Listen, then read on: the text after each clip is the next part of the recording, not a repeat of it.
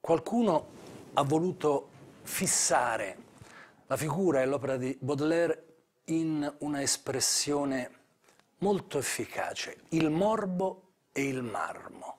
Il morbo perché nella sua poesia ritroviamo l'inquietudine, il tormento, la perversione, il rovello dell'epoca contemporanea. Il marmo perché tutto questo si esprime attraverso la forma classica, prima fra tutti il sonetto, di cui Baudelaire diceva essere dotato di una bellezza pitagorica. Ebbene, per avvicinarci a questo grandissimo poeta, con il quale è stato detto la modernità entra nella poesia, comincerei affidandomi alla guida di John Jackson, uno dei maggiori studiosi, il quale ci fa notare subito il punto centrale del rovesciamento bodleriano. La natura scompare a favore della città. Il grande capolavoro del critico novecentesco tedesco Walter Benjamin parla di Parigi capitale del XIX secolo. Dunque non ci sono più i boschetti, eh, il lago di Lamartine, la natura tanto cara ai romantici, i laghisti inglesi, tutto questo è cancellato a favore delle nuove strade, delle nuove piazze, della nuova popolazione di questo spazio urbano. Industrializzazione e massificazione. Uno tra i maestri di Baudelaire sarà d'altronde Edgar Allan Poe, il grande scrittore americano di cui Baudelaire tradurrà l'opera. Per un paradosso, dice Jackson, l'entrata in modernità coincide con un sentimento di caducità, di morte, sorretto da una delle parole chiave, su cui torneremo più volte, spleen. Lo spleen non è altro che il malessere romantico di Chateaubriand, di Senancourt, di Sainte-Beuve, per restare in area francese appartiene alla famiglia della Sehnsucht, dello struggimento, della nostalgia dei romantici tedeschi, ma è qualche altra cosa. Lo spleen, che in inglese significa milza, sta a indicare la bile, l'umore atrabiliare, l'umore nero, melanconia da melanos, nero, l'umore dunque che possiede l'uomo e ne fa un estraneo al mondo. Ecco troveremo nelle poesie che leggeremo molto spesso il senso di un esilio dalla terra. Ora, un altro punto centrale in Baudelaire è il cristianesimo, un cristianesimo particolare mediato dal grande reazionario che fu José de Maistre, un cristianesimo venato di agostinismo. La riflessione è stata detta sul male e sul peccato non può venire che da una sorta di distorcimento del senso di colpa, dunque profondamente cristiano. Baudelaire è un poeta cristiano che morirà bestemmiando nell'ospedale in cui era stato ricoverato, tanto che le suore dovranno cacciarlo via. Ancora, cosa troviamo in Baudelaire? Un occhio aperto e lucido sulla sensibilità del suo tempo che ci fa pensare a Balzac.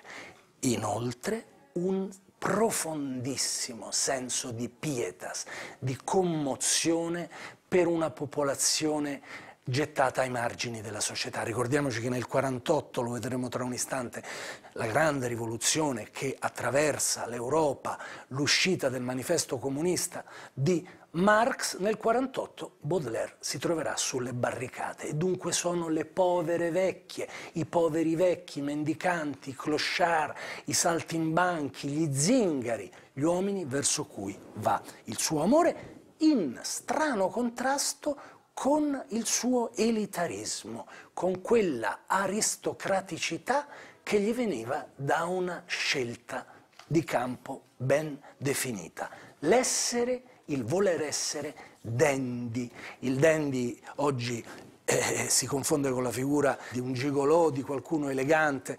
Il dandy nell'Ottocento, dal grande Brammel a Gautier, cui sono dedicati i fiori del male, l'opera di Baudelaire, il dandy era un'asceta, un monaco del bello che lottava contro la società borghese dell'utile e del commercio.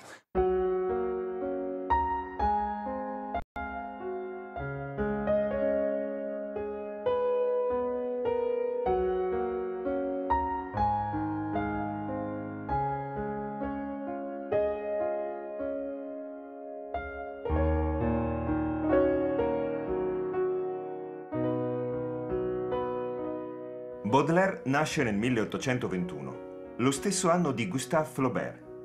Lontano dalla Francia vede la luce un altro gigante, Dostoevsky, e nello stesso anno muore Napoleone Bonaparte, a cui Manzoni dedica la poesia Il 5 maggio.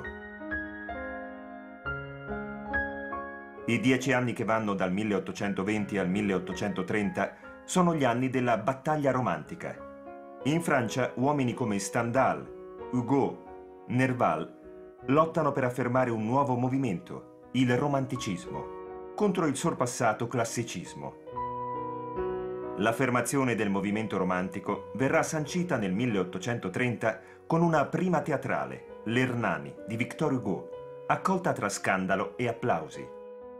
Il 1830 è un anno importante anche per la rivoluzione di luglio.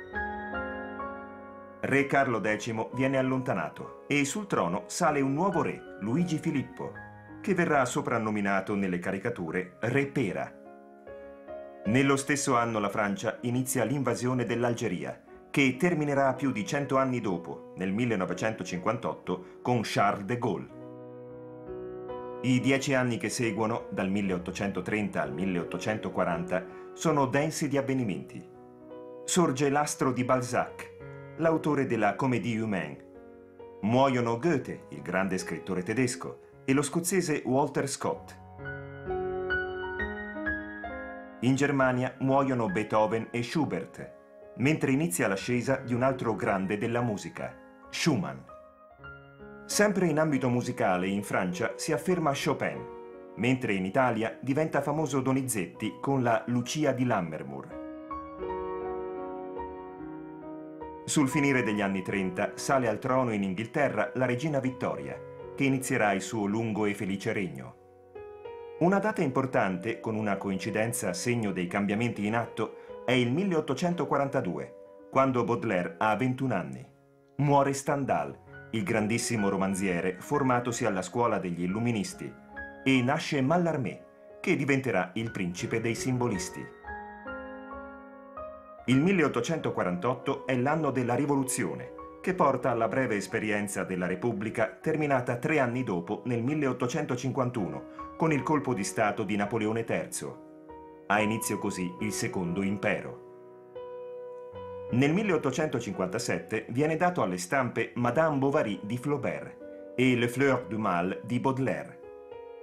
Entrambi gli autori verranno portati davanti a un giudice e processati per oscenità. Due anni dopo, nel 1859, Darwin pubblica L'origine delle specie. Nel 1861 la Francia entra in contatto con lo stravolgente genio musicale di Wagner, che Baudelaire adorerà. Sono gli ultimi anni della sua vita. Nel 1867 Baudelaire si spegne a Parigi all'età di 46 anni.